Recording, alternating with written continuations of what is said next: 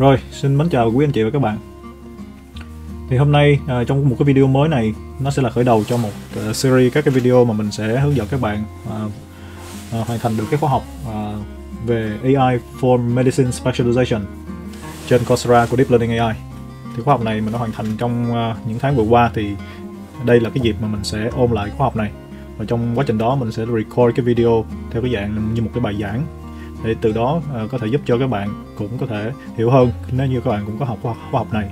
Cũng như là khi mà các bạn làm những phần à, uh, programming assignment thì những cái sự hướng dẫn của mình cũng có thể giúp cho các bạn hiểu hơn và hoàn thành được những cái phần assignment nhanh hơn từ đó tiết kiệm được thời gian và tiền bạc cho các bạn.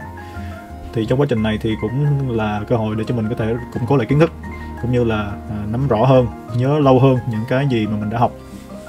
Thì mình cũng giống như những người bạn sẽ cùng nhau học và chia sẻ những kiến thức của à, lĩnh vực machine learning và deep learning thông qua khóa học này. Thì trong quá trình mà mình à, nói chuyện thì đôi khi có những chút à, vấp váp và à, có những cái lỗi gì đó thì mong các bạn lượng thứ bỏ qua cũng như là các bạn cũng có thể góp ý cho mình ở bên dưới. Thế thì à, nội dung khóa học này á nó là bao gồm có 3 khóa và à, nó ở cấp độ intermediate tức là người ta cũng assume mình là nên à, à, hoàn thành cái khóa học đầu tiên những khóa học của cấp độ beginner. Đó là machine learning specialization hoặc là à, uh, AI for everyone. Thế thì uh, mình lướt qua cái khóa học này chút xíu để rồi trước khi mình sẽ uh, đi vào những cái chi tiết.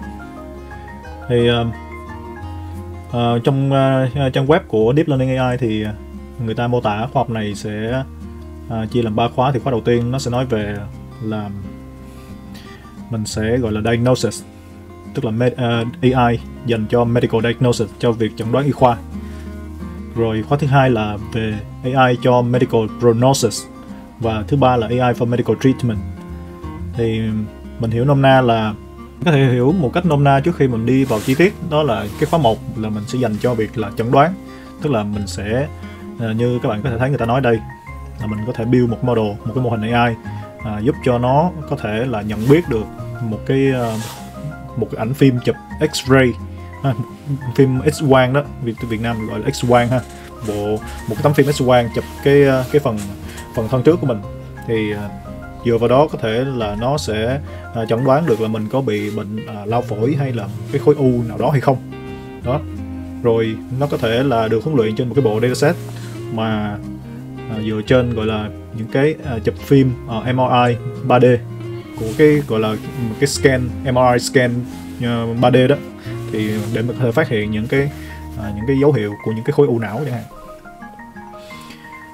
Thì trong quá trình đó mình sẽ uh, build một cái model để mà uh, chẩn đoán cái chest X-ray để chẩn đoán những cái bệnh liên quan đến phổi dựa trên những cái ảnh tấm phim chụp X-ray. Rồi uh, mình sẽ tiếp xúc với nhiều vấn đề như là xây dựng mô hình như thế nào reduction như thế nào loss như thế nào. Rồi mình sẽ gặp uh, mình sẽ gọi là um, xử lý những cái trường hợp mà khi mà cái bộ dữ liệu huấn luyện nó bị imbalance tức là nó bị mất cân bằng. Thì uh, ví dụ như là có những cái bệnh nó hiếm một mẫu dữ liệu một cái bộ dữ liệu lớn nhưng mà cái phần lớn những cái dữ liệu đó thì nó lại là uh, không bị bệnh thì chỉ có một số ít là bị bệnh thôi. Vậy thì cái việc cái việc mà cái cái, cái label hoặc là cái cái class nó bị uh, mất cân bằng như vậy á, nó sẽ phải có những cách à, xử lý cụ thể. Thì à, thì để sơ lược cái này thì không bằng việc mình sơ lược bằng à, cái file mà mình đã à, take note trong quá trình mình học. Thì à, trong quá trình đó thì mình đã gọi là take screenshot mình take những ghi chú cũng như là mình à, tóm tắt lại à, nhờ ChatGPT tóm tắt lại cái nội dung của bài giảng cũng như là cái phần à, lab cũng như là cái phần uh, programming assignment nói chung là mọi thứ ở trong khóa học nó đều bao gồm ở trong cái khóa, trong cái cái file này mà mình đã chuẩn bị từ lúc mà mình học. Thành thử ra bây giờ mình chỉ việc mở file này ra mình xem thôi, mình mình review thôi. Thì đây cũng là một cách ghi chú rất hay mà các bạn có thể tham khảo. Khi mình, giống như là mình có một cái ờ, một cái bản đồ, một cái đại đồ ở phía trước mặt mình xem tất cả mọi thứ ở trong khóa học đó. Vậy thì mình có thể lướt qua một chút xíu và cũng đó cũng chính là ờ, cái mục đích của cái video này, đó là mình sẽ review cái khóa học. Mà có thể đợi phần đầu mình sẽ review cái khóa thứ nhất bởi vì nội dung ba khóa nếu mà review trong vòng một video thì nó cũng rất dài. Vậy thì à, mình có thể thấy ở đây nó là à, ở cái khóa đầu tiên. Và cụ thể là cái tuần đầu tiên thì mình sẽ à, mình sẽ học về cái vấn đề là à, disease detection. Tức làm sao mình có thể huấn luyện một cái mô hình à, thị giác máy tính để giúp trong cái việc là phát hiện được là cái bệnh. Ví dụ như là như nãy mình nói đó là nó sẽ đọc những cái tấm phim X-ray để mà phát hiện ra những cái bệnh liên quan đến phổi chẳng hạn um,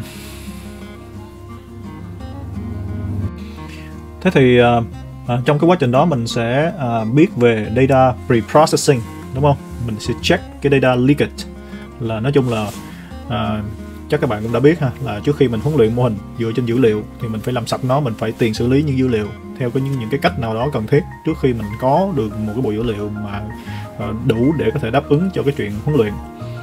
À, mình cũng sẽ biết về pre-processed image đúng không? Mình sẽ tiền xử lý những cái bức ảnh mà bức ảnh ở đây thì cụ thể nó là những cái bức ảnh chụp uh, x quang đó chụp uh, phần chest đó, phần ngực đó. Để rồi mình sẽ uh, sẽ chuẩn bị cái phần uh, uh, training dataset, validation dataset và test set. Rồi uh, mình sẽ uh, thực hiện một cái gọi là weight loss function để mà có thể xử lý cái vấn đề class imbalance. Thì class imbalance thì như hồi nãy mình nói rồi, đó là uh, có những cái loại bệnh nó hiếm hiếm gặp hơn những loại bệnh khác, những loại bệnh thông thường khác thì dẫn đến là uh, mô hình nó có thể bị uh, thiên vị những cái loại bệnh mà nó phổ biến mà nó lại không đánh giá chính xác ở những loại bệnh hiếm thì có thể là các bạn đang hình dung là mình sẽ huấn luyện một cái mô hình mà nó à, mình đưa cho nó một cái bức hình chụp x quang để rồi nó sẽ à, chẩn đoán được là, là à, cái bệnh nhân đó hoặc là à, cái cái ông đó có bị à, bệnh phổi hay không. Nhưng mà thật ra mình sẽ làm nhiều gọi là nhiều loại bệnh cùng một lúc. Tức là model nó sẽ phải dự đoán ra là một lúc là có 10 bệnh luôn. Tức là cái khả năng mà ông đó bị bệnh A B C D EF là là là như thế nào chứ không phải là chỉ mỗi lần một bệnh thì thì trong cái quá trình huấn luyện một cái model mà nó có thể uh, dự đoán một lúc mà ra cái tỷ lệ mắc bệnh uh, nhiều của loại nhiều loại bệnh khác nhau đó thì nó sẽ bị thiên vị những cái loại bệnh mà nó nó thấy có nhiều ở trong bộ dữ liệu huấn luyện. Nhưng mà những cái loại bệnh mà nó ít đó thì nó lại uh, không đánh giá chính xác lắm. Thì mình sẽ có những cách để mình xử lý nó. Và cuối cùng là mình sẽ biết về cái gọi là uh, transfer learning khi mà mình dùng một cái bộ là uh, pre-trained neural network tức là mình dùng một cái mô hình mà nó được huấn luyện uh, dựa trên một cái một cái bộ dataset khác một cái bộ uh, dữ liệu mà nó có thể nó không liên quan đến cái vấn đề gọi là y khoa nhưng mà nó vẫn là thuộc về lĩnh vực gọi là computer vision. Để rồi uh, cái mô hình đó nó làm việc rất là tốt trên cái vấn đề đó nhưng mà mình sẽ sử dụng lại nó để mình uh, gia giảm mình mới sửa lại chút xíu để mình huấn luyện nó lại trên một cái bộ dữ liệu về chẩn đoán uh, cái bệnh của vấn đề y khoa của mình. Thì mình sẽ học được hoặc là mình sẽ tái sử dụng lại được những cái kiến thức những cái uh, giống như là những cái uh, gọi là nôm na là những cái kinh nghiệm những cái kiến thức mà cái mô hình đã được học. Trước đó đó nó đã học được thì bây giờ mình sẽ áp dụng nó cho cái vấn đề của mình. Thì mình sẽ tiết kiệm được thời gian huấn luyện cũng như là mình sẽ không phải tốn quá nhiều dữ liệu để mình có thể đạt được cái performance tốt à, thì đó là một số cái sơ lược. Vậy thì thì các bạn sẽ thấy à, um, mình sẽ đi qua một số cái gọi là những cái định nghĩa đúng không? Đó những định nghĩa các cái loại bệnh. Uh, những cái loại bệnh này có lẽ là mình phải phải tra google thì mới biết được nó có cái tên tiếng việt là gì bởi vì nó là những từ uh, y khoa những cái từ uh, chuyên ngành của lĩnh vực y khoa. Uh, như là dermatology mình có thể uh, hiểu nó là da liễu đó là những cái loại bệnh về da. Uh, ophthalmology là một cái chiều một cái dạng bệnh về mắt mà nó nó gây ra bởi cái gọi là tiểu đường nhưng mà gây mù mắt. Thì uh, rồi histopathology uh, là một cái dạng uh, một cái dạng bệnh nào đó một khác nữa mình quên cái cái cái cái tên việt của nó rồi. Thì nói chung là mình sẽ đi qua một số cái gọi là định nghĩa một số cái định nghĩa một số cái gọi là ờ, cái gọi là cái tiềm năng trong cái việc mà có thể sử dụng những cái mô hình trí tuệ nhân tạo để mà mình có thể ứng dụng à, những cái sức mạnh của computer vision vô để mà à, giải quyết những cái vấn đề chẩn đoán bệnh này không. À, để rồi mình đi một cái lab đầu tiên đúng không? Mình đi một cái lab đầu tiên về data exploration và email preprocessing. Thì trong đó mình sẽ à, gọi là xử lý một cái bộ dữ liệu về à, chest x-ray đúng không? Để mà mình có thể à, à, xem thử là những cái vấn đề sắp tới mình train một cái model thì trong cái x-ray đó đó thì nó có thể có những loại bệnh gì đúng không? Hoặc là có những cái tính chất gì những cái feature như thế nào?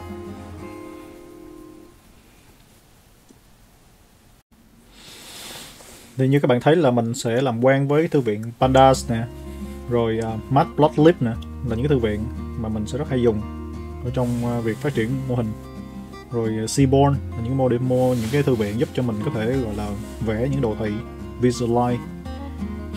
Ờ, Pandas là cái thư viện khi mình làm việc với ờ, những cái, gọi là, cái tabular dataset, tức là những cái dạng dataset mà có, kiểu như là một cái bảng gì đó, một cái bảng Excel mà mỗi một hàng là một một mẫu dữ liệu và một cột là một cái features. Rồi mình sẽ làm quen với việc là mình đọc một một cái bộ dữ liệu mà trong y khoa như thế nào. Các bạn có thể thấy là mỗi một cái bức hình nè PNG đúng không? Của một bệnh nhân đó của một cái hình chụp uh, X-ray đó thì nó sẽ được gắn nhãn là um, có hoặc là không có những cái loại bệnh sau đây những cái triệu chứng hoặc là những cái uh, những cái tính chất sau đây. Thì những cái tên ở đây đó là những cái tên mà nó liên quan đến một cái triệu chứng một cái loại bệnh nào đó trong y học. Thì với một cái hình thì người ta sẽ đánh giá nó hoặc là người ta sẽ gắn nhãn nó bởi những người bác sĩ hoặc là bởi những cái người chuyên viên để mà mình có được cái gọi là cái bộ dữ liệu huấn luyện. Thì máy tính nó sẽ dựa vào đó nó sẽ uh, sẽ được huấn luyện.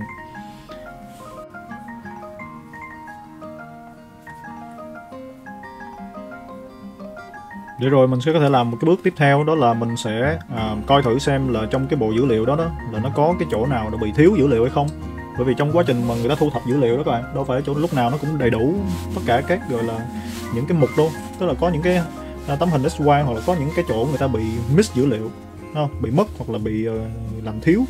Thì khi đó nó sẽ có những cái chỗ mà nó bị uh, trống dẫn đến là mình phải có những cái cách để mình xử lý nó. Ví dụ như là mình có thể uh, bỏ nó đi. Với một cái bức hình nào đó một cái bệnh nhân nào đó mà người ta thiếu dữ liệu thì mình có thể bỏ đi luôn ra khỏi ngoài à, ngoài dữ liệu huấn luyện luôn nhưng mà cũng có thể có những cái cách khác để mà mình xử lý chuyện này.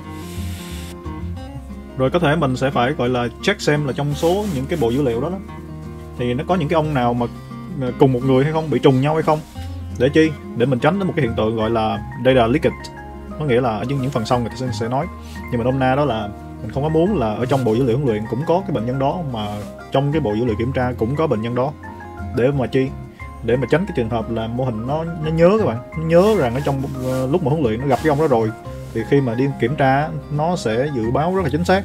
Nhưng thực ra không phải là vì nó học được, không phải vì nó giỏi, mà đơn giản chỉ vì nó nó nó nhớ được ừ, cùng cái người đó trong lúc mà huấn luyện nó gặp người đó rồi, cho nên là nó lấy kết quả chính xác.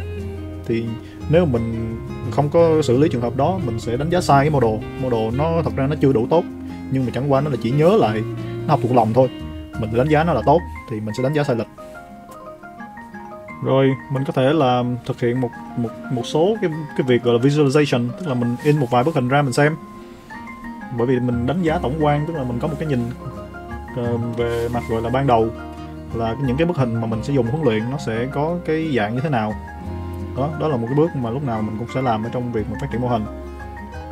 Rồi mình có thể coi một cái bức hình uh, uh, nào đó rồi mình xem một số cái chỉ số thống kê của cái bộ dữ liệu. Một số cái gọi là uh, distribution. Rồi cuối cùng là mình sẽ đi qua một cái um, việc là mình làm quen với cái thư thư viện là Keras. Nó có cái API là image uh, data generator. Nó sẽ uh, hỗ trợ mình rất nhiều trong cái việc là mình uh, xử lý mình tiền xử lý cũng như là mình uh, mình load cái dữ liệu từ uh, cái thư mục của mình nhưng mà trong quá trình đó thì cái API đó nó sẽ giúp mình uh, làm nhiều việc như là shuffle bộ dữ liệu hoặc là nó có thể uh, resize cái hình giùm mình luôn. Trong quá trình nó load dữ liệu ra từ trong cái à, cái thư mục của mình thì nó sẽ làm những cái bước mà gọi là tiền xử lý giùm mình. Rất là tiện lợi. Đó thì một cái lab đầu tiên mà mình sẽ gặp là như vậy. Rồi tiếp tục là những cái bài giảng mà mình sẽ đi qua những cái bước để mình mà phát triển một cái mô hình à, thị giác máy tính. Giúp làm được cái việc gọi là detect được không? phát hiện được những cái bức hình nào những bức hình x-ray nào nó có à, mass có khối u.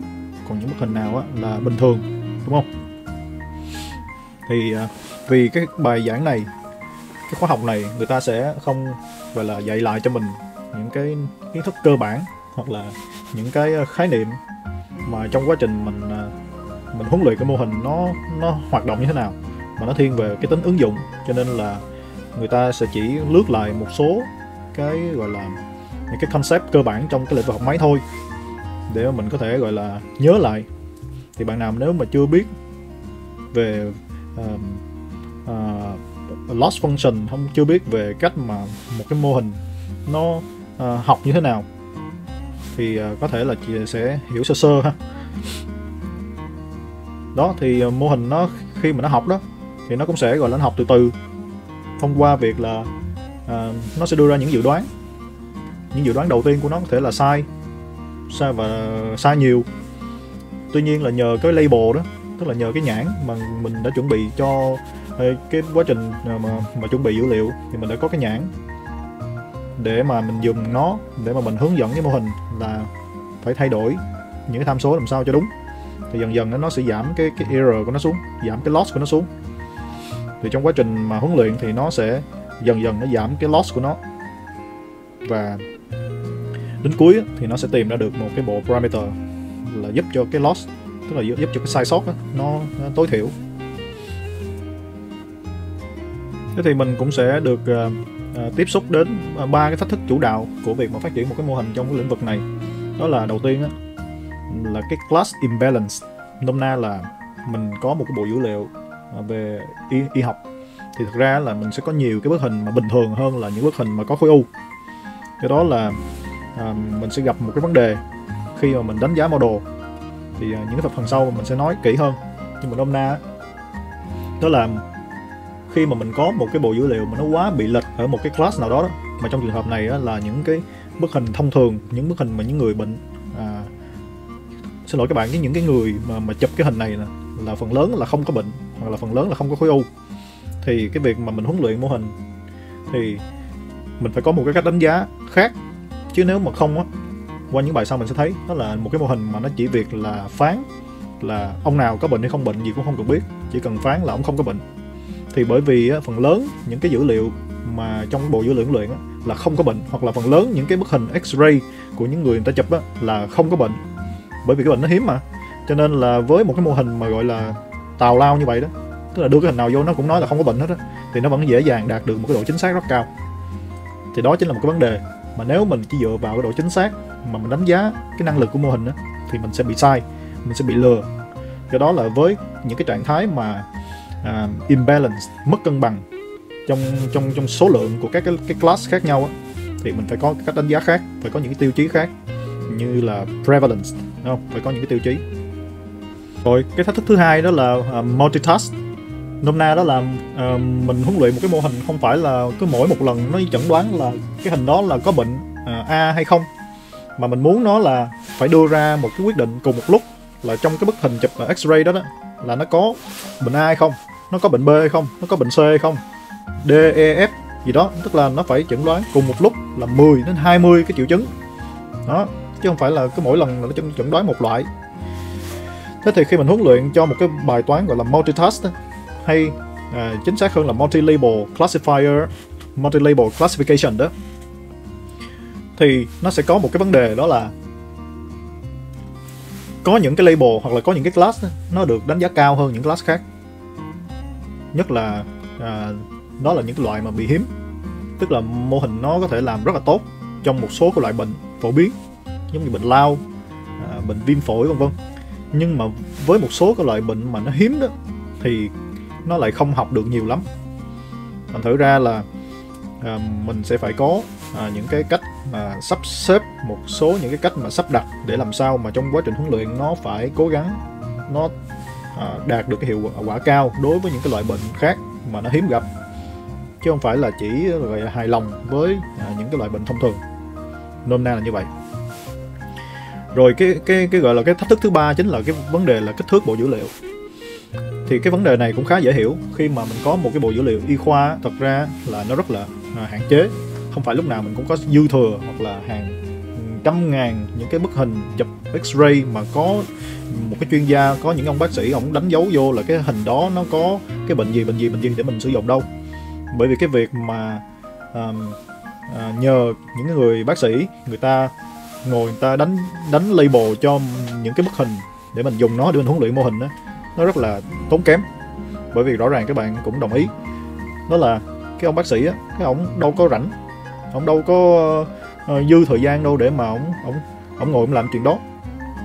Mình nói vui vậy nhưng mà mình hiểu nôm na đó là uh, cái việc mà nhờ những người bác sĩ có tay nghề hoặc là có cái kinh nghiệm lâu năm họ ngồi họ đọc cái bản uh, X-ray uh, bản chụp X-quang để rồi họ họ đánh dấu vô cho mình á, là cái hình đó là nó có bệnh gì bệnh gì á, thì cái việc đó rất là tốn kém.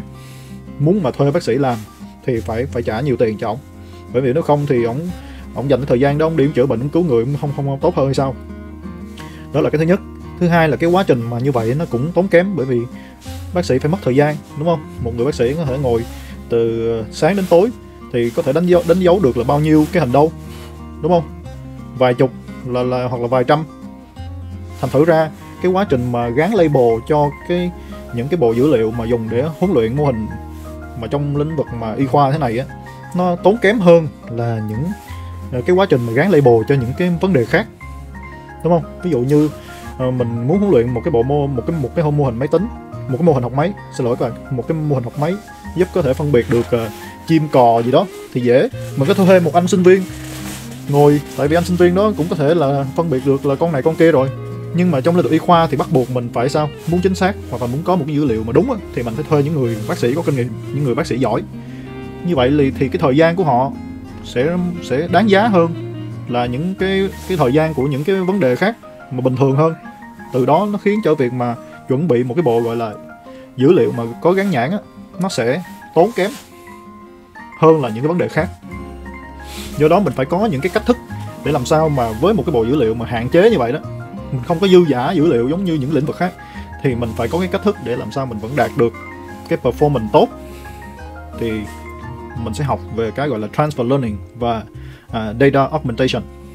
Một cách nôm na đó là mình sẽ tận dụng mình sẽ tận dụng à, như cái phần này hồi nãy mình cũng có nói rồi ha.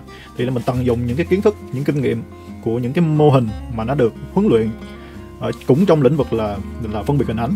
Nhưng mà có thể ở trong một cái lĩnh vực nào khác một cái một cái phạm trù gọi là ví dụ như là phân biệt uh, hình ảnh chim cò xe hơi xe đồ đó. Nhưng mà những cái kiến thức mà về gọi là uh, low level um, um, tức là những cái kiến thức mà những cái những cái um, những cái khả năng mà nó nhận diện những cái hình ảnh mà sơ cấp á, thì mình có thể tận dụng những kiến thức đó để rồi mình đem qua đây mình huấn luyện nó thêm với cái bài toán gọi là y khoa này.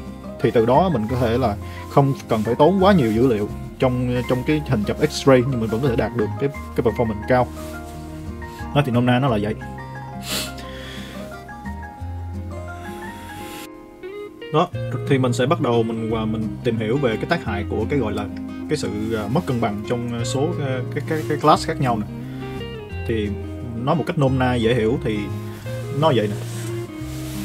Nó có thể dẫn đến một cái tình trạng đó là cái mô hình đó nó sẽ ưu tiên trong cái việc là à, làm đúng ở những cái ca không có bệnh hơn là làm đúng ở những ca có bệnh thì các bạn hình dung vậy nè.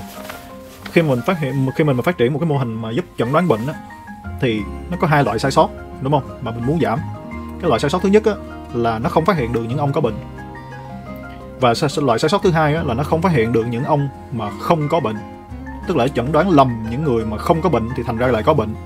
Hoặc là chẩn đoán lầm những người có bệnh thì lại nói là không có bệnh. Thì hai cái đó nó đều uh, không tốt cả. Nhưng mà mình hiểu một cách uh, nôm na đó là cái việc mà nếu mà ông đó ông không có bệnh mà mình vẫn đoán ổng là có bệnh á thì cùng lắm á, là ổng tốn tiền ổng phải đi điều trị. Nhưng mà mất thời gian mất thời rồi mất tiền nhưng mà cuối cùng hóa ra là vô ích. Nói chung là mất thời gian của người ta. Nhưng một cái á đó là ổng có bệnh mà lại phán ổng là không có bệnh á thì ổng sẽ không có tham gia điều trị.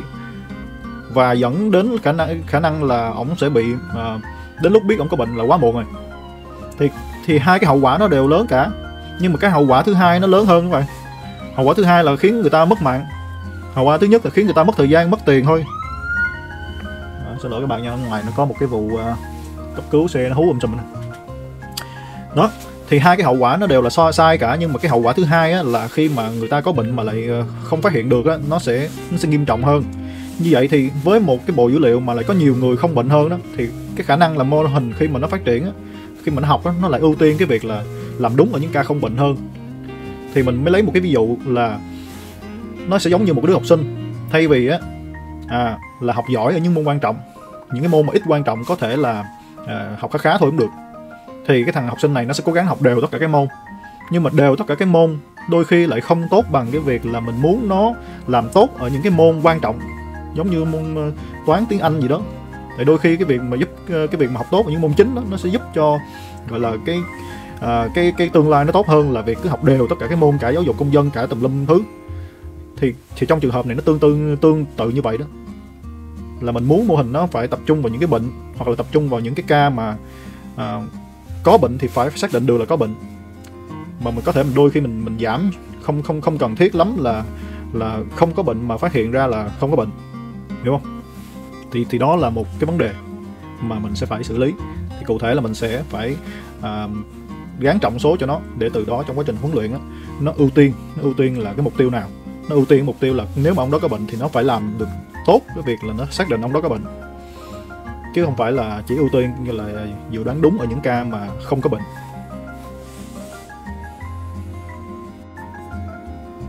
Rồi sau đó mình sẽ um, làm quen với cái bài toán gọi là multi multi à, label classification cái multi label classification đó, nó khác với multi class classification.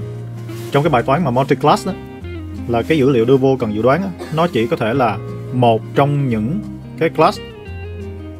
Chứ không phải là như trong bài toán multi label đó, là cái input đưa vào đó, nó có thể có cùng một lúc nhiều cái label khác nhau. Lấy một cách ờ, dễ hiểu đó là ví dụ như trong cái bài toán phân biệt hình ảnh của các loại ờ, vật khác nhau đi thì có thể với um, cái bộ dữ liệu mà huấn luyện dành cho multi class classification đó, thì cái hình đó nó chỉ có thể là một trong những cái con vật khác nhau thôi. Ví dụ như là nếu mà là mèo thì không phải là chó. Nếu mà là chó thì không phải là gà vân vân. Nhưng mà với bài toán multi label á, thì à, cái cái label nó sẽ là có thể có nhiều con trong cùng một bức hình.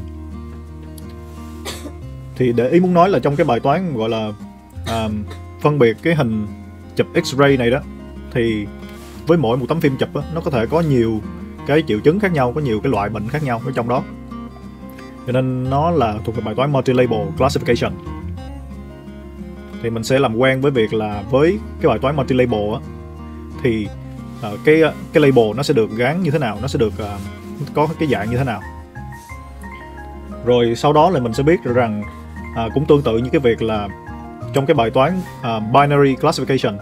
Nhưng mà ở trong đó có những cái trạng thái nó hiếm. Ví dụ như trong bộ dữ liệu uh, thì lại có ít những cái uh, sample. Nó có cái nhãn là um, uh, positive. Thì tương tự như vậy. Với cái vấn đề là multi task uh, classification này multi uh, label classification này, nó cũng sẽ có những cái uh, bệnh nó ít hơn những cái bệnh khác. Từ đó là nếu như mà mình không có cách xử lý thì model nó cũng sẽ à, nôm na là nó ưu tiên một cái loại bệnh nào đó hơn. Tức là nó sẽ làm việc chính xác ở một loại bệnh nào đó hơn nhưng mà nó lại à, bỏ qua những cái à, cái bệnh mà hiếm. Chính vì vậy là cũng sẽ phải có những cách xử lý đó là khi mình à, tính cái loss mình xây dựng cái loss function mình cũng phải có cái cái trọng số cho những cái loại bệnh khác nhau. Ở đây. Thì nó gọi là weight loss function. Rồi mình sẽ làm quen với um, cái convolutional neural network model thì ở đây người ta chỉ gọi là lướt qua thôi để mà cho mình biết rằng đó là những cái, uh, cái model mà convolutional neural network nó rất là mạnh nó sử dụng trong uh, vấn đề gọi là uh, image classification rất là tốt. Bởi vì qua cái lớp tiếp theo thì mình sẽ làm quen với cái DenseNet là cái dùng để mà mình sẽ xây dựng cái mô hình giúp mà classify classify cái các loại bệnh khác nhau từ dựa vào tấm phim chụp X-ray đó.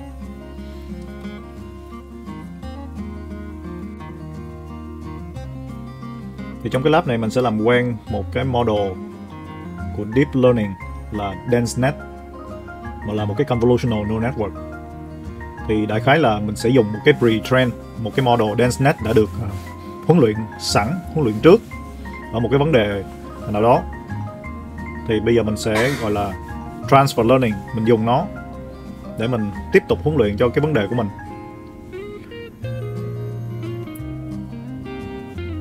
Thì mình sẽ gọi à, là sử dụng cái DenseNet này dựa trên cái API um, của Keras. Thì vì Keras hay TensorFlow nó có support những cái pre-trained model. Đó rồi mình sẽ xem sơ qua những cái layer của nó. Thì cái mô hình này là một cái mô hình deep learning deep neural network. Bởi vì cái số layer của nó nó lên tới 427 layer. Rất là rất là nhiều layer. Và mình sẽ biết cái cách để mà sử dụng cái functional API để mà có thể gọi là custom cái model này để mà thực hiện cái gọi là transfer learning. Nôm na đó là mình sẽ à, sử dụng cái phần gọi là cái phần thân phần đầu và phần thân của cái DenseNet này. Và mình à, à, đóng băng rồi nó, nó lại mình khóa nó lại. Nhưng và mình thêm một vài cái layer cuối của mình vào trong cái cái cái DenseNet này để mình có thể à, tùy chỉnh nó cho cái vấn đề cụ thể của mình. Thì để nôm na đó là khi mà mình dùng cái phần thân phần đầu của cái DenseNet này đó là một cái model đã được huấn luyện trước đó thì mình sẽ tận dụng được những cái kiến thức những cái kinh nghiệm của nó. Nó nôm na là gì khi mà nó đã được huấn luyện trước ở một cái vấn đề khác cũng thuộc về lĩnh vực gọi là thị giác máy tính và cũng là image classification thì nó đã học được nhiều cái à, quy luật những cái mô típ giúp phân biệt hình ảnh rồi. Thì bây giờ mình gắn nó vào um, cái cái model của mình. Tức là mình chỉ uh, thêm một vài cái layer cuối thôi. Rồi mình tùy chỉnh lại để mình uh, tiếp tục mình huấn luyện nó với cái bộ dữ liệu uh, về y khoa của mình. Thì cái này nó chính là uh, hồi nãy mình đã nói trên đó là uh, khắc phục cái vấn đề là khi mà mình có bộ dữ liệu về y hoặc y khoa đó thường là nó sẽ không có nhiều. Và với một cái số lượng dữ liệu ít như vậy á thì mình phải có cái cách để mình tận dụng những cái model đã được huấn luyện trước ở những bộ dữ liệu khác nhiều hơn. Và từ đó mình sẽ không cần phải tốn nhiều dữ liệu khi mình huấn luyện. Cho một vấn đề cụ thể.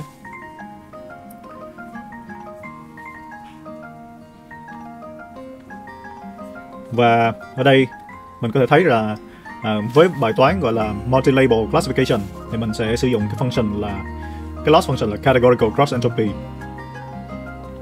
để mà huấn luyện.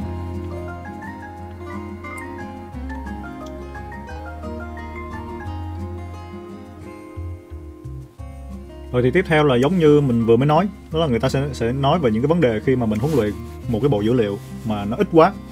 Ví dụ như những bài toán bình thường mà phân biệt hình ảnh mà à, chim cò gì đó thì mình có thể có hàng triệu bức hình từ trên internet, đúng không?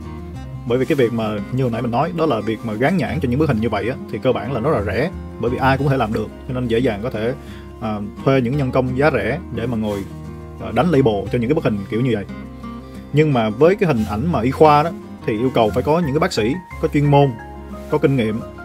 Do đó thì cái việc mà bỏ tiền ra thuê họ nó nó cũng sẽ tốn cái chi phí cao. Và do đó là không thể nào mà có hàng triệu những bức hình mà, mà chụp x quang mà mà có thể gọi là à, dư giả như vậy để mình có thể huấn luyện model được. Ồ, xin lỗi các bạn nó nhảy đi đâu thì à, chính vì vậy mà phải có những cái cách để mà khắc phục cái chuyện đó thì uh, một trong những cách hồi nãy mình nói đó chính là transfer learning đó sử dụng một cái pre-trained model để tận dụng cái kiến thức của nó đó. Thì có những cách khác nữa. Đây ở đây người ta nói đến về vấn đề gọi là retraining nôm na đó là một cái pre model khi mà nó đã học được cái cách phân biệt hình ảnh dù là những hình ảnh không liên quan đến y khoa như là à, phân biệt ảnh chim cò gì đó thì trong bản thân nó nó cũng đã học được những cái mô tuyết giúp mà phân biệt những cái đường nét những cái gọi là low level uh, motif những cái uh, những cái quy luật hoặc là những cái uh, những cái pattern giúp uh, cấu thành nên một cái hình ảnh thì mình sẽ tận dụng những cái kiến thức đó giúp uh, cho việc mà huấn luyện tiếp tục ở cái bài toán cụ thể của mình người ta gọi là fine tuning. Nó sẽ khiến cho cái việc uh, huấn luyện nó sẽ đỡ phải tốn nhiều dữ liệu hơn nhưng vẫn đạt được cái performance cao. Rồi một cái cách nữa để mà xử lý vấn đề đó chính là uh, data augmentation. Nôm na chính là việc mình uh, cũng là một cái bức hình đó trong uh, trong bộ dữ liệu huấn luyện. Nhưng mà mình có thể uh, chế nó thay đổi nó chút xíu uh, xoay qua xoay lại. Hoặc là uh, thay đổi một số cái tông màu hoặc là một số cái uh, điều chỉnh về ánh sáng. Giống như mình sử dụng cái uh, Photoshop để mình sửa cái bức hình đó thành ra 10 phiên bản khác nhau, 10 20 phiên bản khác nhau mà mỗi phiên bản mình thay đổi chút xíu về mặt uh, uh, góc xoay, uh, về mặt ánh sáng về mặt là tông màu vân vân. Thì mục đích đó à, ví dụ như là việc mà mình xoay qua xoay lại như thế này nè thì kiểu như là mình sẽ tạo ra thêm những cái gọi là à, sự đa dạng trong cái bộ dữ liệu huấn luyện. Mà những cái tình huống mà à, model nó có thể gặp trong thực tế khi mà một cái người chụp người ta có thể không có nằm thẳng mà người ta có thể hơi nghiêng một chút xíu. Thì cái việc mà mình uh, một cách gọi là nhân tạo mình làm mình mình chế ra những cái bức hình mà nó hơi nghiêng như vậy nó sẽ giúp cho model nó nó học được khi mà nó gặp những cái trường hợp như vậy. Thì đây chính là một cái cách mà khiến cho dù ít dữ liệu mình cũng có thể uh, gọi là tạo ra thêm một số những cái sự thay đổi nhỏ mà không làm thay đổi bản chất của cái bức hình. Tuy nhiên người ta cũng có một cái số chú ý nè đó là việc mà thay đổi thì nó phải phải tuân theo một cái quy luật một cái luật đó là cái việc thay đổi nó không được thay đổi bản chất của cái cái vấn đề. Ví dụ như đây nếu như mà mình lại à, lấy cái hình chụp à, x-ray này mà mình lại flip tức là mình giống như mình lật qua theo cái trục à, dọc á nó thành ra là một cái bệnh khác. Bởi vì trái tim bình thường bên nằm bên trái mà mình flip như vậy nó ra một cái bệnh thuộc cái dạng là uh, trái tim nó lật lật bên phải á, thì cái việc mà làm như vậy nó sẽ bị thay đổi cái bản chất của bức hình. Tức là nó sẽ uh, không có hiệu quả không tác dụng.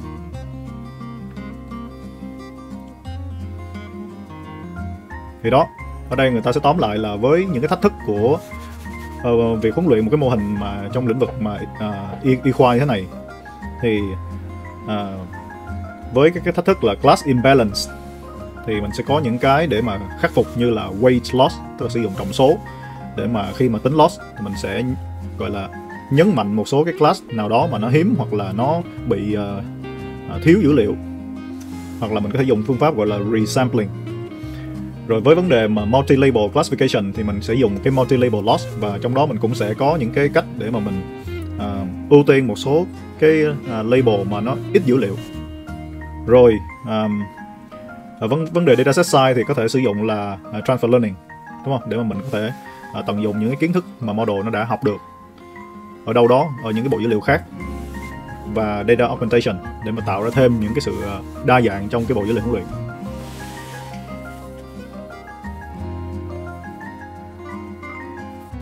Rồi tiếp theo đó là mình sẽ qua một cái phần gọi là um, model testing tức là mình xem sao mình để mình có những cách mình được đánh giá cái model khi mà nó đã được huấn luyện xong.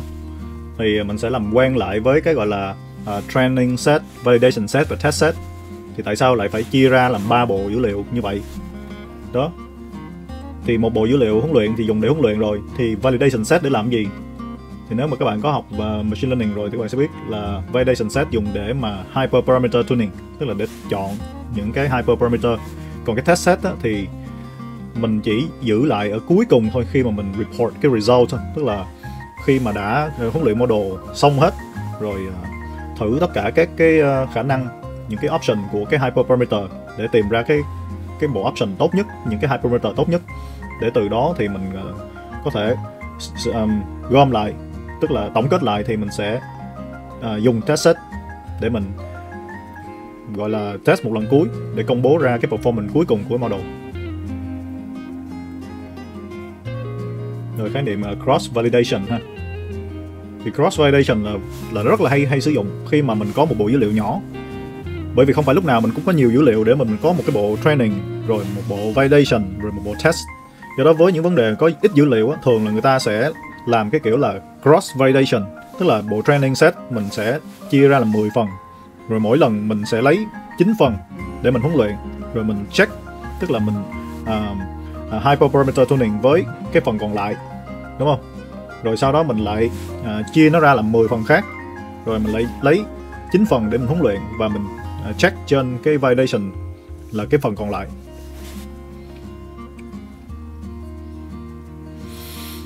Rồi ở đây người ta có nói thêm về một số những cái thách thức của việc mà validate một cái model như vậy nè ví dụ như là cái hiện tượng patient overlap.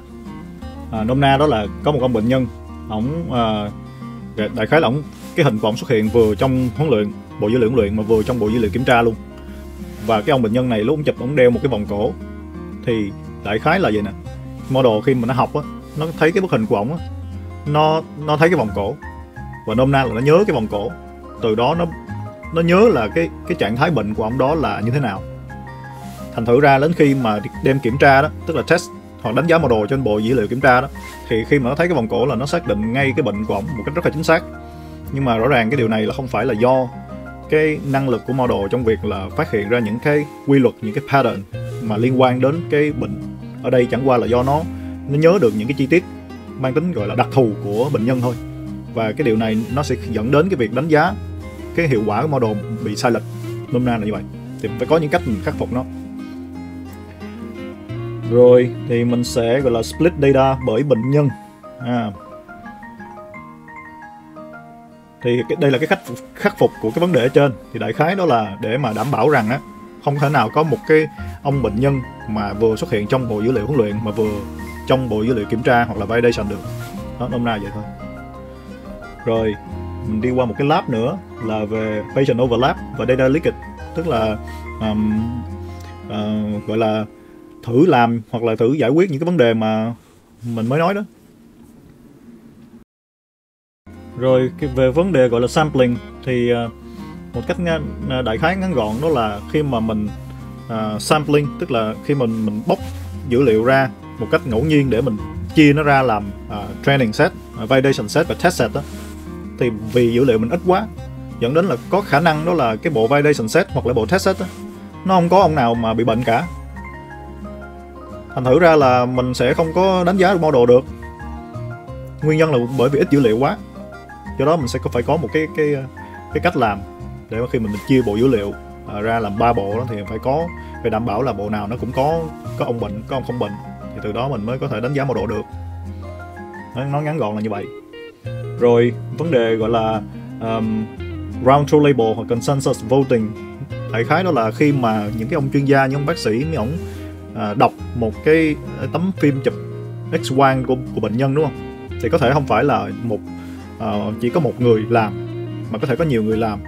Và có nhiều người làm thì đôi khi lại xảy ra cái trường hợp là những người này có những cái ý kiến nó bất đồng nhau nó không có thống nhất. Như vậy thì giả sử là cái chuyện đó xảy ra thì mình phải chọn cái label như thế nào tức là mình phải lấy cái ý kiến của ông nào để mà đánh cái label cho cái bức hình. Thì đại khái là như vậy. Thì mình phải có cách xử lý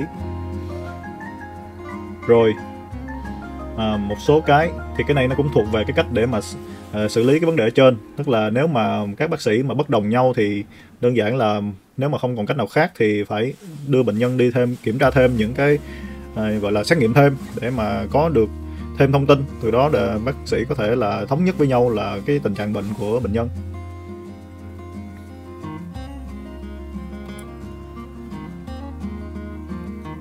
Rồi như vậy là mình đã kết thúc cái tuần đầu tiên. Thì kết thúc cái tuần đầu tiên đó của khóa 1 á, mình sẽ làm một cái à, assignment. Thì uh, mình sẽ đi qua hết tất cả những gì mà nãy giờ mình nói đúng không?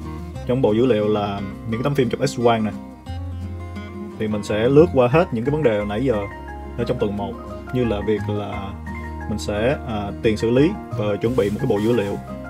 Và bộ dữ liệu này là lấy từ ngoài đời thật. Rồi mình sẽ dùng transfer learning để mà gọi là tận dụng những kiến thức của một cái model DenseNet đã được uh, huấn luyện trước ở một cái vấn đề khác để mà sử dụng trong vấn đề này.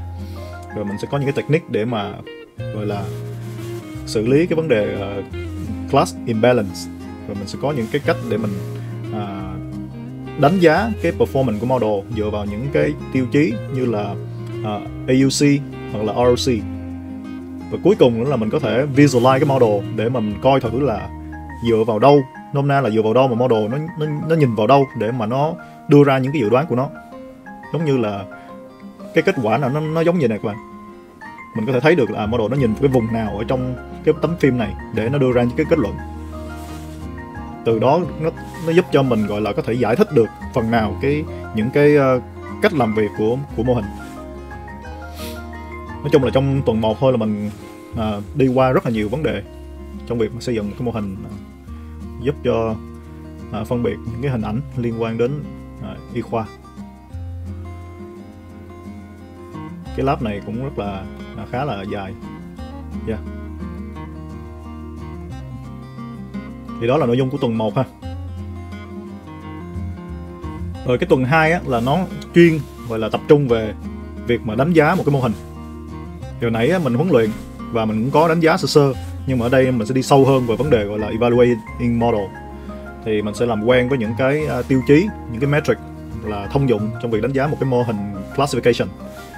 Thì như là uh, mình sẽ gặp lại những cái uh, metric cũng khá là quen thuộc khi mà mình đã học bên machine learning classification model đó. Thì nó là true positive true negative false positive false negative. Rồi từ đó mình tính ra cái chỉ số như sensitivity specificity rồi ờ, uh, PPV uh, ờ, NPV rồi ờ, uh, RC và F F1 score.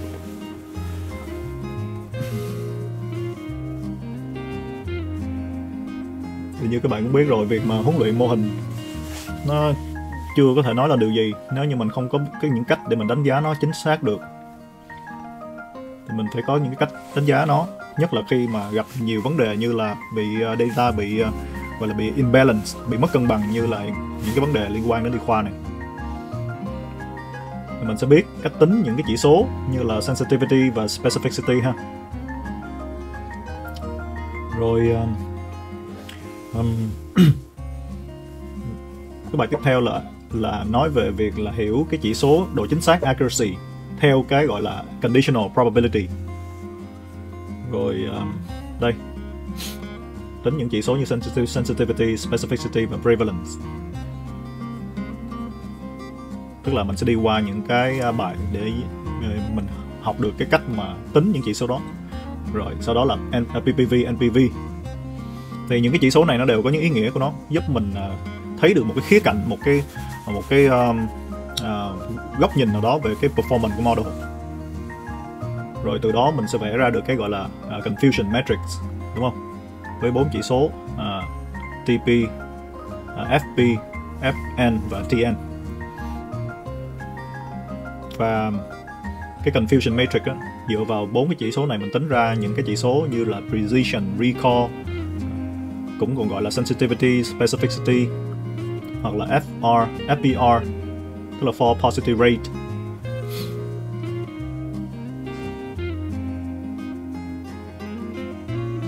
Đó qua những cái bài này mình sẽ à, biết cách tính những cái chỉ số đó. Và mình sẽ hiểu được là những cái chỉ số đó nó có ý nghĩa như thế nào. Một cái model có chỉ số này cao chỉ số kêu thấp thì có nghĩa là model nó nó bị như thế nào nó bị làm sao nó có tốt hay chưa. Đường cong ROC curve. Rất là nhiều vấn đề. Nói chung cái tuần này mình sẽ đi à, sâu về cái việc đánh giá một cái model thông qua nhiều cái chỉ số nhiều cái metric khác nhau mình sẽ làm một cái lab để mình uh, thực hành. Đó vẽ cái đường RC thì cái đường RC này á một cái model tốt á, là cái cái đường cong này nó phải đi sát cái điểm màu đỏ này. thế rồi um, sampling from total uh, population. Tức là mình chuẩn bị qua cái gọi là confidence interval. Đại khái là mình có thể dựa vào cái chỉ số này để mình biết được là à, mình có thể tự tin rằng cái độ chính xác của model là bao nhiêu phần trăm. Tức là mình có thể công bố cái model ra. Từ đó mình sẽ biết uh, những cái cách gọi là ví dụ như 0.8 mà 95% là như thế nào mình sẽ hiểu được những cái cái cách ghi như thế này. Nó có cái ý nghĩa là gì? Thì nó liên quan đến uh, những cái uh, kiến thức bên uh, xác suất. Bên xác suất thống kê đó. Thì mình sẽ hiểu được tức là sau uh, những cái bài này mình sẽ hiểu được gọi là 95% confidence interval là sao đó mình sẽ đọc được những cái uh, ký hiệu như thế này nè. Người ta ghi như thế này thì có nghĩa là là cái cái model nó có cái performance như thế nào. Rồi cũng uh, tương tự như tuần trước thì cuối tuần nó là một cái assignment. Mình sẽ đi hết những cái vấn đề đó để mình tính ra những cái chỉ số giúp mình đánh giá một cái mô hình đã được huấn luyện xong đúng không? Nói chung tuần này là đi sâu vào việc là đánh giá. Đó đường cong RC curve này nhưng mà với nhiều loại bệnh khác nhau. Cho, cho thấy là cái performance model trên từng loại bệnh. Và cũng như cái là cái uh, assignment tuần trước thì cái assignment cũng dài lắm. Rất là nhiều vấn đề. Đây mình có một số cái à, uh, vẽ vời để mình hiểu thêm về cái gọi là uh, precision recall mối liên hệ giữa precision recall. Có một số chỗ mình còn chưa hiểu khi mình quay lại mình ôm mà mình có thể là mình sẽ sửa lại mấy cái chỗ màu màu xanh này. Nói cái lab này rất là dài, bạn thấy. Nhưng mà việc mình đi hết cái lab này giúp mình có thể hiểu được nhiều cái thông số, những cái metric giúp đánh giá mỗi mô hình. Và vì nó là vấn đề classification, cho nên là mình khi mình hiểu được những cái này rồi mình qua qua những bài toán cũng classification khác có thể không phải là để đánh giá những cái vấn đề những cái bức hình mà chụp uh, y khoa mà, mà trong những cái vấn đề khác về thị giác máy tính hoặc là những cái vấn đề mà không phải là thị giác máy tính nhưng mà cũng là classification đó, thì mình cũng thể gặp lại và mình hiểu được những cái chỉ số những cái cách những cái metric để giúp đánh giá mô hình như thế này. Ok đó là kết thúc tuần à, tuần 2 tuần 3 mình sẽ gặp à, một cái à, vấn đề là liên quan đến việc mà mình sẽ sử dụng một cái bộ dữ liệu à, gọi là hình ảnh 3D của MRI scanner. Nói chung là cái ảnh chụp mà à, chụp não bằng máy MRI đó, máy cộng hưởng từ đó để mình dùng nó mình xây dựng một cái mô hình giúp gọi là image segmentation. Thì dành cho bạn nào chưa biết về vấn đề gọi là segmentation thì classification là cái hồi nãy mình phân biệt một cái bức hình đó nó có thể nó có cái à, cái thể loại gì cái category gì loại bệnh gì. Còn image segmentation là đại khái là mình với cái bức hình chụp à, uh, MRI này nè thì người ta nó có thể giúp vẽ ra được cái vùng nào là một cái vùng mà nó nghi ngờ là có một cái khối u não chẳng hạn. Cũng giống như cái bài toán à, image segmentation mà người ta uh, uh, dùng ở trong việc mà xe tự lái đó. Đó là cái xe nó có thể nhìn phía trước của con đường cái cái ảnh chụp cái đường phố thì nó có thể biết được là cái vùng nào là cái lề đường vùng nào là cái cái lòng đường để nó có thể đi vùng nào là biệt bản hiệu vùng nào là người đi bộ vân vân. Thì đó là vấn đề gọi là image segmentation thì ở đây mình sẽ dùng cái model là UNet model ha, cũng là một cái model deep neural network. Thông qua đó mình sẽ làm được à, mình sẽ học được nhiều vấn đề liên quan đến việc xử lý một cái bức hình thuộc dạng là, là À, uh, 3D như vậy. Như là um, uh, subsample rồi standardize chuẩn hóa bức hình chuẩn hóa dữ liệu rồi uh, tiếp tục mình uh, biết cách để sử dụng một cái retrain model. Rồi uh, thực hiện việc uh, xây dựng những cái loss function phù hợp với cái vấn đề uh, cụ thể này với vấn đề gọi là image segmentation này. Thì cái loss function phải như thế nào? Loss function gì? Cũng như là đánh giá cái model lại gặp lại những chỉ số là sensitivity và à, specificity. Đây thì cái cái bài của tuần này khá hay đúng không? Rồi mình làm quen với gọi là cái 3D image. Là mấy à, những cái những cái hình mà gọi là hình chụp cắt lớp từ cái máy MRI đó. Thì trước giờ mình chỉ xử lý cái hình mà gọi là à, 2, 2D thôi hình hai chiều thôi mặc dù nói là hai chiều nhưng các bạn có biết là khi mà nó đưa vô máy nó thật ra nó có ba ba chiều. Bởi vì chiều dài chiều rộng và nó có ba channel là red green blue nữa đỏ xanh lá cây và xanh dương nữa. Nhưng với cái hình mà bản chất là ba chiều như là cái hình của MRI à, MRI scan này á thì khi mà đưa vô máy tính nó thành ra là 4 chiều. Bởi vì nó có cái chiều sâu nữa. Thì mình sẽ có những cái cách để mà mình uh, um, tiền xử lý những cái bức hình này như thế nào trước khi mình dùng nó để mình huấn luyện mô hình? Đó. Đó là mình sẽ chia nó ra thành từng những cái vùng nhỏ nhỏ như thế này. Giống như là mình bẻ nó ra thành từng cái hộp nhỏ nhỏ vậy này. rồi, ngay sau cái bài đầu tiên là mình đã đi qua một cái lab, ha, là extract subsection, là chia nhỏ là giống như ở trên đó. Thì mình làm như thế nào ở trong cái trên Python.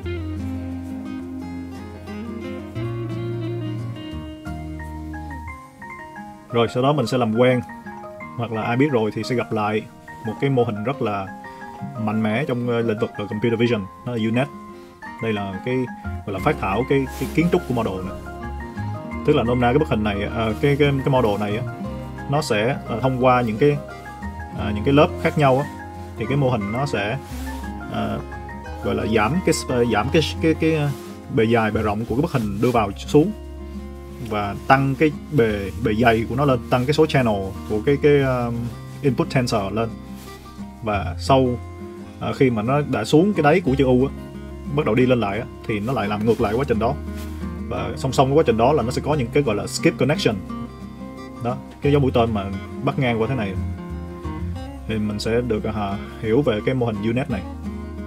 Thì trong quá trình mà nó nó giảm cái bề à, dài bề rộng xuống và nó tăng cái chiều sâu lên đó, thì trong quá trình đó nó extract rất là nhiều những cái thông tin những cái uh, quy luật những cái mô típ ở bên trong một cái bức hình giúp cho nó có thể gọi là làm tốt ở cái việc gọi là um, segmentation.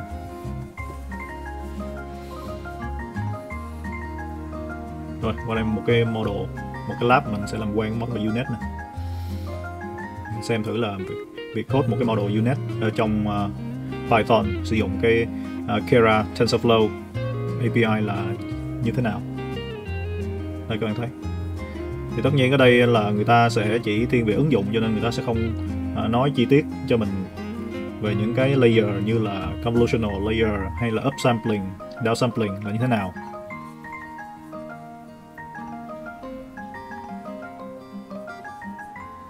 Ở đây cuối cùng mình sẽ compile nó với ờ, uh, loss function categorical cross entropy.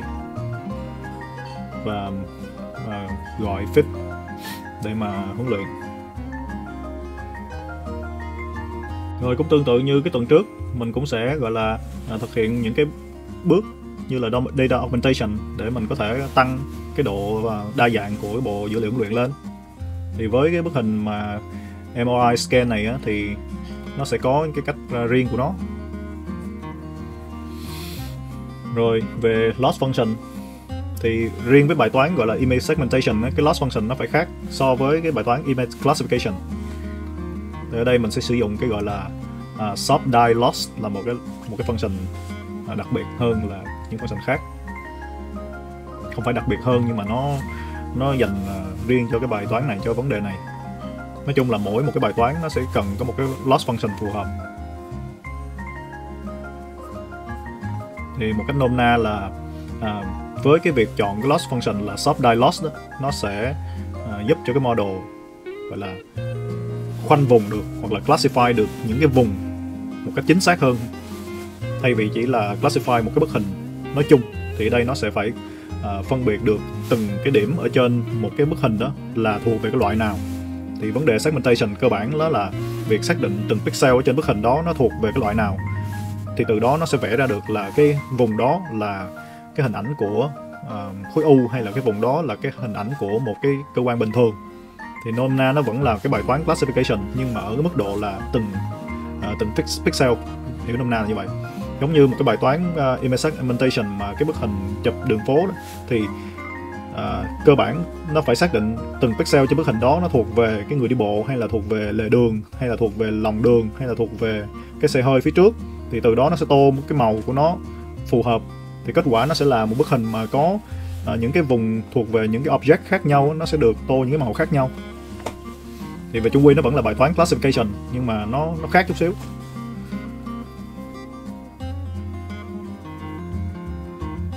Rồi mình sẽ qua một số cái thách thức của à, à trong thực tế khi mà gặp những cái à, khi mà làm việc với những cái cái cái cái vấn đề này thì đây ví dụ như là à, đại khái người ta lấy à, một cái ví dụ là những cái máy gọi là MRI đó nó có thể là nó khác nhau nó có những cái tiêu những cái tùy chỉnh những cái setting những cái config khác nhau ở những cái quốc gia khác nhau.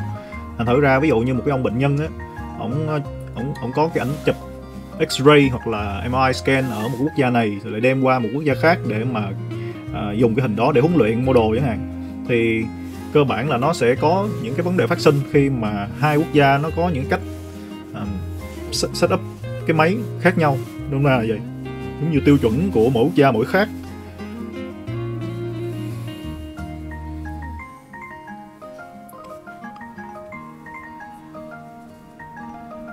Rồi một cái vấn đề nữa về thực tế sẽ gặp đó là việc như nãy mình nói đó đó là với mỗi một cái bức hình đó thì nó đến từ những cái bệnh nhân có những cái population khác nhau. Được chụp từ những cái cái máy có cái cái config khác nhau. Tại vì không thể người ta chỉ gọi là training một cái model giúp uh, chỉ đánh giá trên bệnh nhân ở Mỹ không được. Nó phải đánh giá trên uh, những bệnh nhân nhân đến từ nhiều quốc gia khác nhau. Dựa trên những cái mẫu dữ liệu mà nó có tính đa dạng như vậy thì làm sao mình thể xử lý những vấn đề đó? Nó sẽ có những vấn đề phát sinh nó gọi là phải external validation. Rồi một số những vấn đề khác à, như là à, việc mà đánh giá cái model dựa trên những chỉ số kia chưa chắc là đã đủ phải có thể phải thêm những cái cách đánh giá khác nữa để mình mới đảm bảo được là cái model nó tốt. Bởi vì rõ ràng rồi các bạn cũng dễ hiểu khi mà đây là vấn đề liên quan đến sức khỏe của con người cho nên là không thể nào mà chỉ đánh giá qua loa một cái mô hình rồi đem ra ngoài sử dụng được. Phải làm thiệt kỹ và đảm bảo rằng nó thật sự tốt thì mới có thể vận hành trong thực tế được. Rồi cũng là kết thúc cái tuần 3 mình cũng sẽ làm một cái uh, assignment. Đó mình cũng lại đi hết những cái vấn đề nãy giờ mình làm. Build một cái mô hình sử dụng cái uh, unit không? Để mà có thể gọi là image segmentation. Đó kết quả nó giống gì nữa các bạn. Có thể vẽ ra được cái vùng nào là cái cái cái class gì cũng là cái vùng bình thường hay là một cái vùng nào đó bất thường. Nó có thể vẽ ra được như vậy đó thì trong quá trình này mình sẽ làm rất là nhiều thứ. Mình sẽ hiểu được dù mình chưa biết có thể bạn nào chưa học về deep learning thì vẫn có thể hiểu hình dung được một cái mô hình à, học sâu mà cụ thể là deepnet. À, xin lỗi các bạn unet unet trong trường hợp này sẽ là như thế nào. Thì cơ bản là mình không phải mình build nó từ đầu mình sẽ vẫn là dùng một cái mô hình đã có sẵn retrain model để mà mình à, tận dụng những cái gọi là những cái kiến thức của nó. Rồi những cái vấn đề liên quan đến là um, uh, pre pre processing một cái bộ dữ liệu mà đặc biệt như thế này. Là mình phải uh, phải làm gì đúng không? Rồi uh, extract cái label của nó. Nói chung là đây là một cái assignment rất là hay. Khi mà mình xử lý bức hình 3D chứ không phải bức định hình 2D như là thông thường. Đây một, một cái mô hình UNet đây. Đây các bạn thấy cái bức hình khi mà đầu vào nó là nó có cái size là 572 572 ha, một hình bức hình vuông. Tức là một cái ô này nè cái cục này nè. Cái cục mà khi người ta bẻ ra trong quá trình tiền xử lý á. Rồi. Thì uh, trong cái quá trình mà nó đi qua cái cái mô hình unit này á nó sẽ giảm cái spatial size xuống tức là giảm cái cái bề rộng bề dài xuống. Nhưng mà nó sẽ tăng cái số channel lên tăng cái số lớp lên tăng số lớp lên.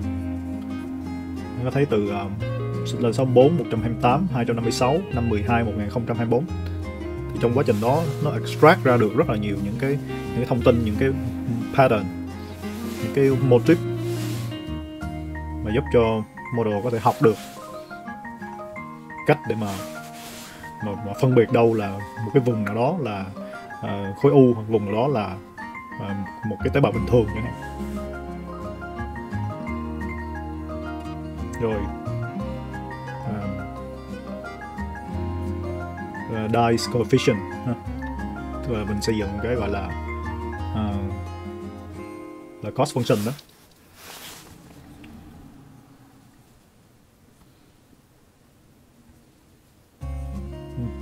quá trình mà mình à, làm thì mình phải có những cái vẽ vời cái này để mình dễ hiểu hơn hình dung được một cách dễ dễ hình dung hơn là cái à, những cái uh, trong đó rồi subdiloss function. Viết một cái function để mà tính cái subdiloss rồi um, viết những function để giúp mình uh, uh, huấn luyện mô hình. Đó. Tức đây là cấu trúc của một cái là unit nè các bạn. Tức là những đoạn code này là tạo ra một cái unit model nè.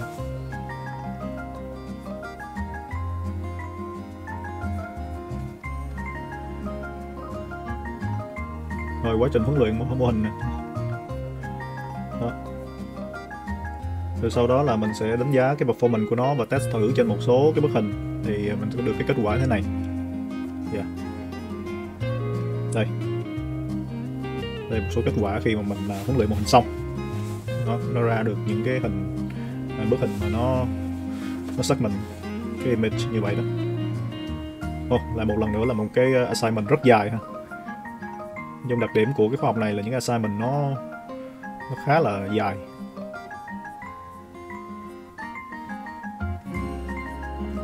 Thì đó là tuần à, 3 mình đã biết cách xây dựng một cái mô hình uh, image segmentation để mà có thể gọi là xác những cái vùng trên một cái bức hình là MRI uh, à, scan. À, như vậy là cái khóa 1 nó chỉ có 3 tuần thôi các bạn chứ không phải 4 tuần như những khóa khác nhưng mà với 3 tuần này thì rất là nhiều vấn đề đúng không? Build ba cái mô hình.